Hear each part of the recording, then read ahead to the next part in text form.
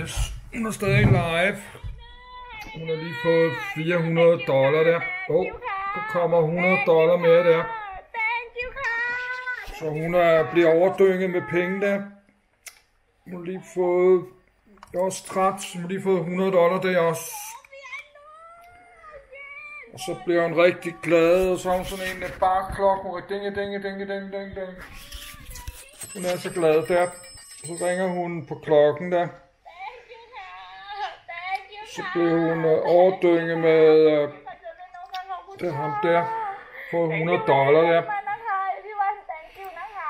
Der er der, han har fået 50 dollar. Se hvor mange der er. Ho, det er mig, der klæder der. Der er mange der. Nå, der er simpelthen så mange, hun har fået der. 100 dollar der. 100 der. Mange penge der.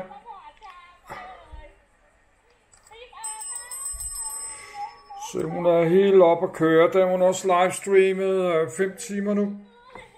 Hun har fået... Øh, Se, der er hendes donationer der.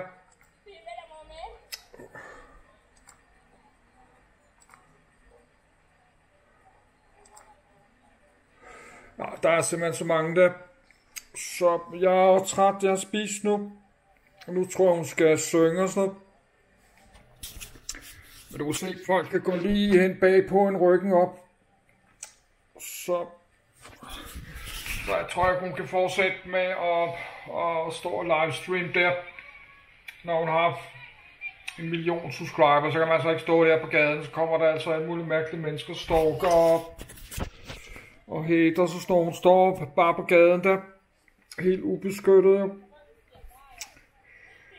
Hun står alene der. Se, og det går lige op bag ryggen på hende der.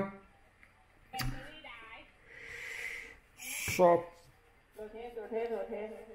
så vil hun synge hun sang der.